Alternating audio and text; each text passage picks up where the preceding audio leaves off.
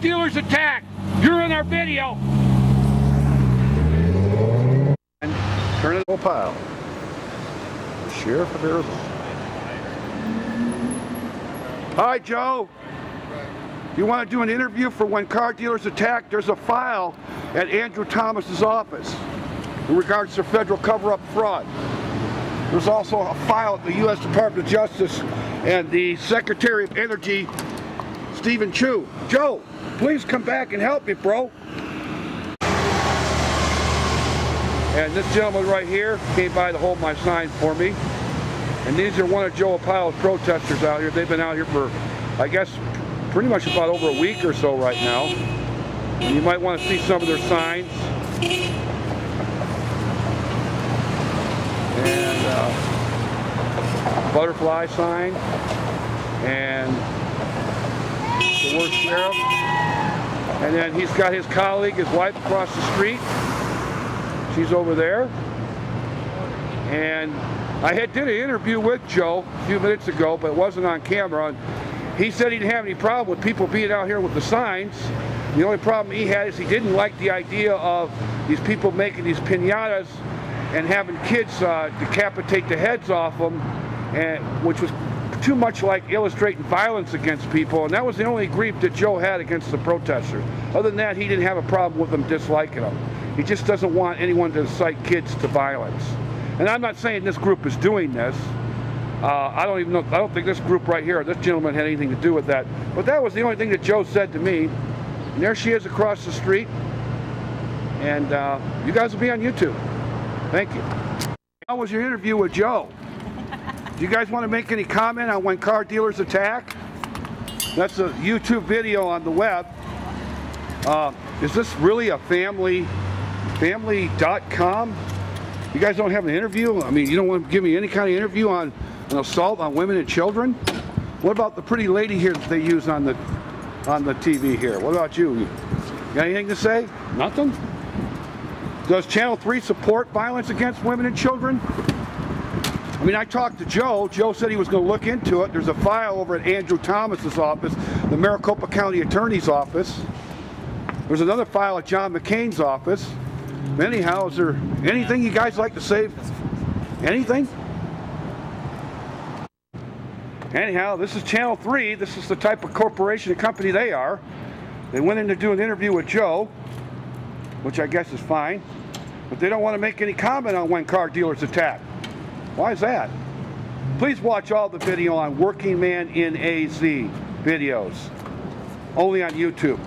Thank you, Channel 3, for very being very cruel, cold, and heartless, which is kind of what you represent. I'm in front of the Wells Fargo here, and I just tried to do an interview with Channel 3. I guess Channel 3 is a type of news agency. It says family, but they don't seem to be too concerned about women and children. Now, if you go over here and you look at the video, when car dealers attack, and you realize that I'm at the Wells Fargo, which is where they're doing an interview, okay, with Mr. John Stumpf. And I understand Joe Arpaio has an office in there, and he's got a business associate association with Wells Fargo. And here is Channel 3. Now, Channel 3 says they're thefamily.com. Are they really thefamily.com? Here's their van. There's the video. The video's about children protesting the American Constitution by Fritz Henderson's AutoNation, uh, Mike Jackson, GM dealership, and many of his other board members. But apparently, Channel 3 isn't really what they say, is it? Well, I'm still here at Wells Fargo. My sign when car dealers attack. Remember, this is an assault on women and children. This is an assault on the American Constitution. This is an assault on every soldier that lost a limb or a life or a grieving mother or father in America. This is what this assault's on. It's not just about General Motors and AutoNation. It's about a hell of a lot more. It's about us as Americans. And there's Channel 3. This is this is a network that claims they're the family. Which family are they in? Well, it's the Ford truck. Are they with the Ford, Alan Mulally family, which supports AutoNation, Mike Jackson? Are they with this family? Perhaps they're with this family over here. operation. You know, the police are always at your dealership. When you're a crook, they always got to show up to your dealership. They call them the Bell Road motherfuckers. Pardon? They call Midway the Bell Road motherfuckers. Where's the fatherfucker? They're motherfuckers. No, it isn't. Yeah, it is. They got 80 complaints with the Better Business Bureau. They got the worst reputation in the state, Larry Van Tuyl. Well, I'm standing here at Channel 3. They claim that the Arizona families.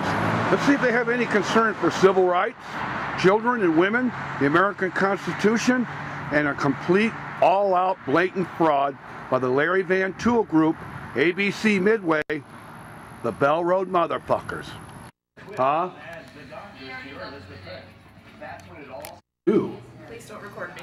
No, it's okay. This No, is a not. this is a file in regards to something that's happened in Arizona, and you guys said you're the family place. Stop recording me. I just want to. Uh, all right, I'm not recording you. I just want to drop the stuff off. I got some footage of you guys down there in front of Joe Pyle's building. Okay. But anyhow, he told me he would do a story. Now this is this is an an operation that claims that they are they care about families.